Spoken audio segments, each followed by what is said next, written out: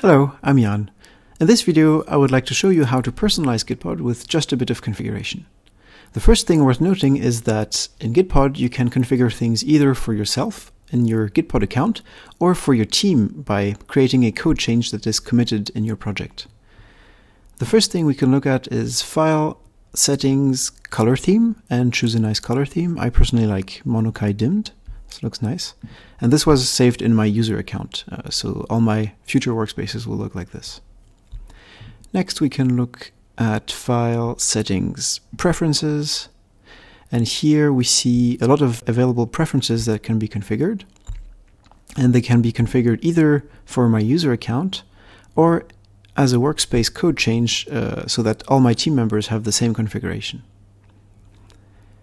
Next, we can look at extensions. Gitpod supports a lot of different extensions, uh, and they can also be installed either for the project and for my team, or for myself. Uh, so, for example, if I were to install a new theme, I would install it for my user. Let's choose Winter is Coming, install for Jan Keromnes. There we go. And maybe not everyone on my team likes this one, so that's why I installed it for my account.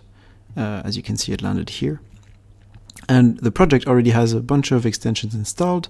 I could install another extension, for example, Rust Analyzer, which is here.